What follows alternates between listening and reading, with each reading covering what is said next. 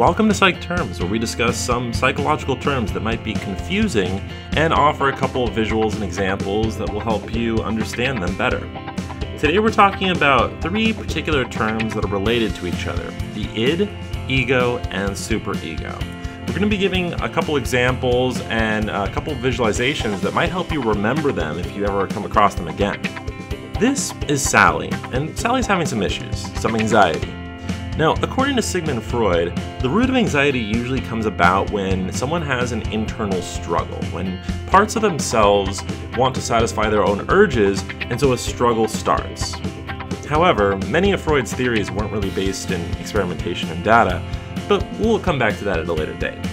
Now, according to Freud, these internal conflicts are due to struggles between different parts of Sally's personality. Uh, the id, the ego, and the superego. And he illustrated it very well by giving a metaphor of a iceberg. Now, when you look at an iceberg, a lot of its mass is below the surface where you can't really see it.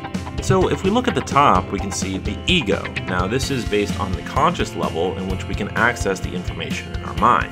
Right next to it is something called the superego. Now, this is more on a pre-conscious level. It's outside of our awareness, but is still accessible. And finally, deep below the surface lies the id. Now, this lies in the unconscious mind, an area in which we can't readily access.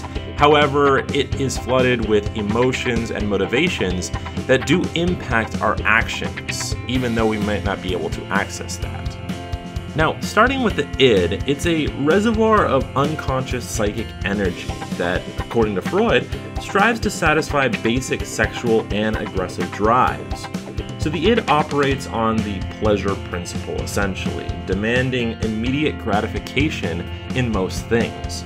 We can most successfully see the id as a newborn baby, one that is just uh, crying out for attention, food, nourishment, and seeks its own individual selfish desires above all else. It's not really concerned with the feelings or um, the motivations of others, it's only concerned about its selfish needs.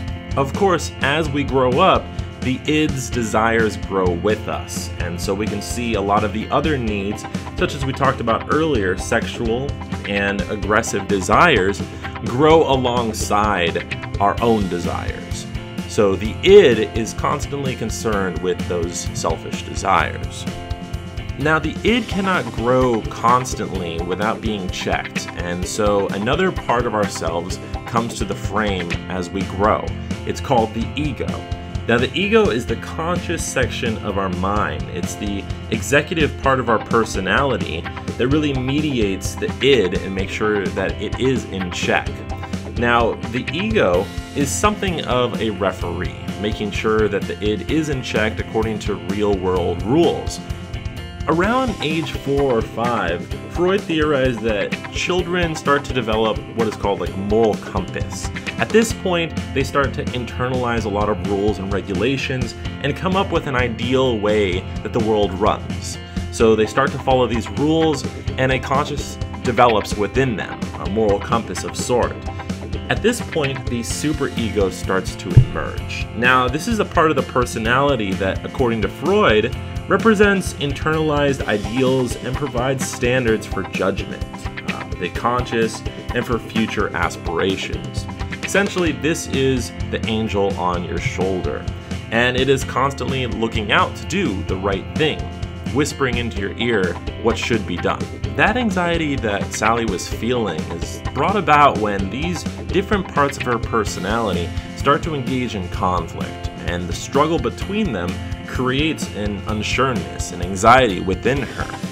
Now, this most commonly happens when the id and the superego engage in conflict with each other over a moral decision. However, this is also why the ego is around, so that it can play referee between the two. So, just to recap, the id is the selfish desires within oneself, usually really buried down below in the unconscious mind, not easily accessible, but still influencing you throughout your day. The superego is the polar opposite of that, a moral compass that is concentrated on the ideals of the world and looking towards success and aspirations. Now, the ego, or the conscious mind, is coming to terms with the battle between the id and the superego and plays as referee between them, usually looking towards logical and realistic outcomes for whatever desires the two have.